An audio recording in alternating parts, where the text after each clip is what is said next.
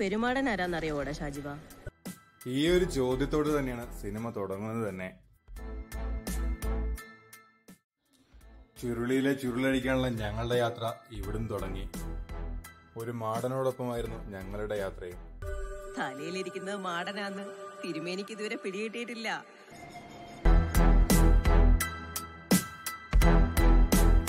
പണ്ട് ഇതുപോലെ ഒരു പോലീസുകാരൻ എന്നെ പിടിക്കാൻ വന്ന കഥ.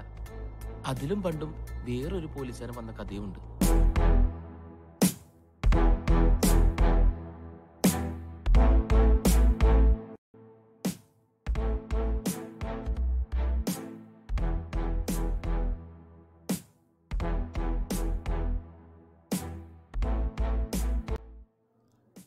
തുടക്കത്തിൽ പറയുന്ന മുത്തശ്ശിക്കഥയിൽ തന്നെ പിടിച്ചുകൊണ്ടുപോകാൻ വന്ന വൈദ്യരെ തന്മയത്വത്തോടെ വഴിതെറ്റിക്കുന്ന പെരുമാടന്റെ അതേ ലാഘവത്തോടെയാണ് സംവിധായകൻ തന്റെ പ്രേക്ഷകരെയും ചുരുളിയിൽപ്പെടുത്തിയിരിക്കുന്നത് മുത്തശ്ശിക്കഥയിലെ ഈനാമ്പേച്ച് തന്നെയാണ് ഷാജീവൻ എന്ന പോലീസുകാരനും.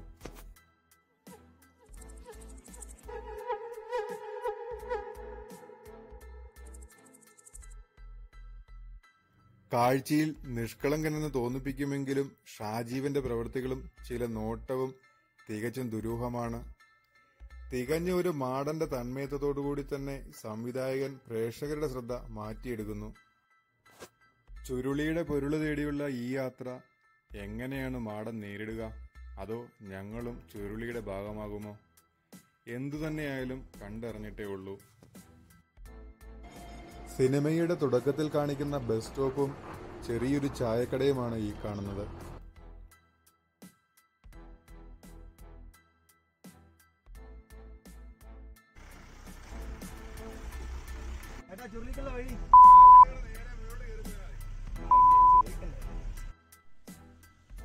ഇടുക്കി ജില്ലയിലെ കുളമാവിനടുത്തുള്ള വലിയമാവ് എന്ന ചെറിയൊരു കാർഷിക ഗ്രാമമാണ് ചലച്ചിത്രത്തിൽ കാണിക്കുന്ന ചുരുളി.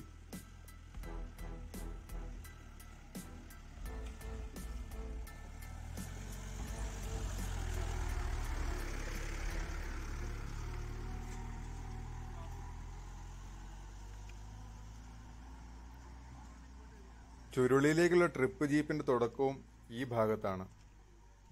മറ്റൊരു പ്രധാന ഭാഗം കണ്ടു നോക്കാം.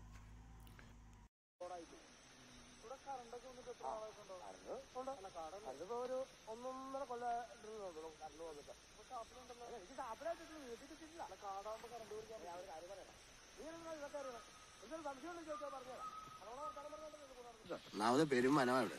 ഈ വനത്തിൽ കൂടെ.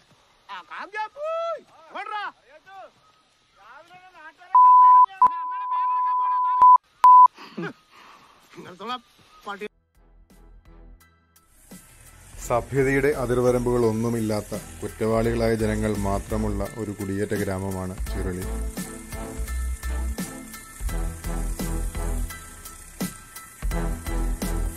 വേട്ടക്കിടെ നടുവിന് പരിക്കേറ്റ ആന്റണിയെ നാട്ടുകാർ എല്ലാവരും ചേർന്ന് ഇവിടെയാണ് എത്തിക്കുന്നത്. ഷാജീവനിലെ കുറ്റവാളിയെ തിരിച്ചറിയുന്നതും ഇവിടെ വെച്ചാണ്.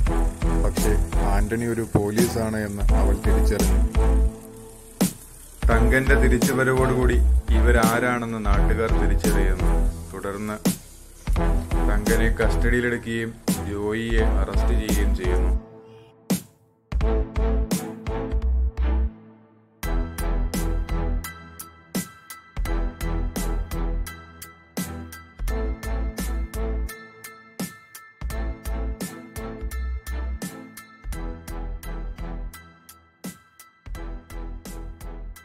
ജീപ്പിലിരുന്ന ജോയി ഇരുവരോടുമായി സംസാരിക്കാൻ തുടങ്ങുന്നു. മാടനെ പിടിക്കാൻ പോയ തിരുമേനിയുടെ കഥ. ആടനും മാങ്ങാത്തൊലിയും